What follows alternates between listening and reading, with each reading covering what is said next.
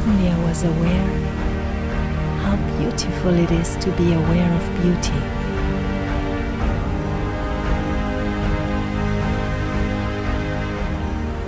I realized that only beauty can be aware of beauty. Only creativity can be aware of creativity. Only limitlessness can be aware of limitlessness.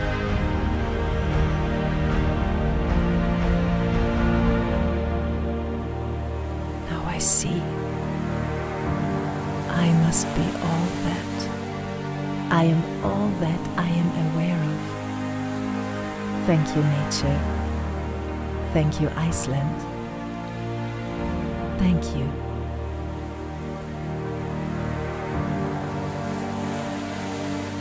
I will come back.